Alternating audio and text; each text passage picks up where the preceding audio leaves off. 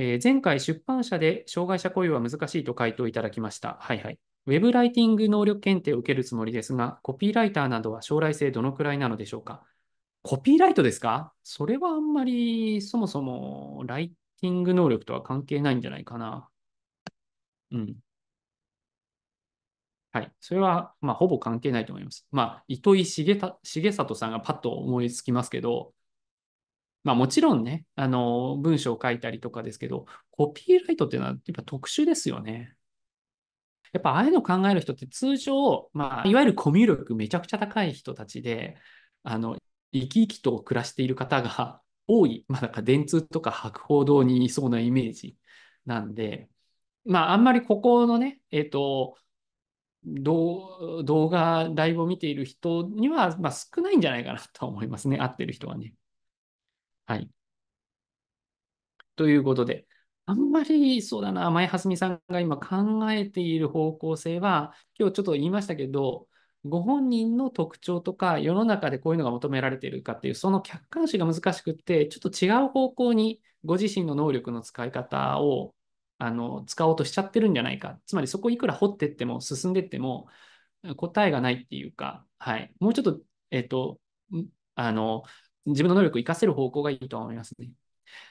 あで、これは別に発達障害に限らないかもしれないんですけど、まあでも発達障害の人がその自分の能力と合わないことを考えやすいっていうのはさっき言った通りなんですけど、でも基本的に自分がしたいことを仕事していくっていうよりも、人から任されるものが得意って思った方がいいんですよね。だから、あの、何でしたっけ？東進ハイスクールの林先生いるじゃないですか。あの、動画で確か上がってるんで見てほしいんですけど、林先生がなんかで言ってたのが、あの、自分は基本的に、あの、来た、あの、オファーは断りませんと。えっ、と、それができると期待されているから、多分それが自分の得意なんでしょうって言ってますね。で、ある時、あの、ある程度ね、中売れて、えっ、と、みんなが林先生何したいですかって言ってくれた時に、あの、本を書いたんだと自分が書きたかった本を書いた。で、それが今まで書いた本の中で一番売れたかったそうなんです。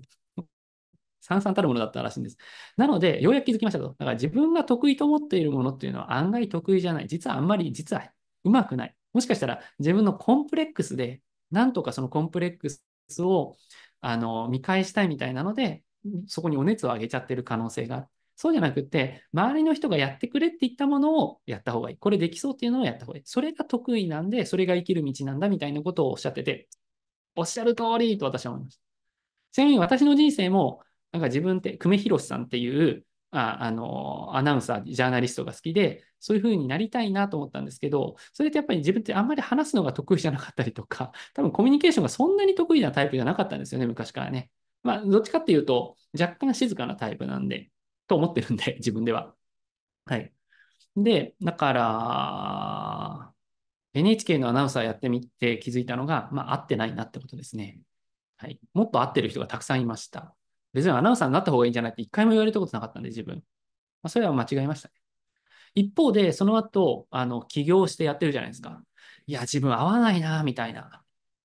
なんでこんなことやっちゃったのかなとか思ったんですけど、ある時昔の、ね、あ、この前も小学生の友達に会ってきたんですけど、まあ、いいろいろなね、過去結構深く付き合った人とかに、えー、会ったりしたら、ああ、なんか、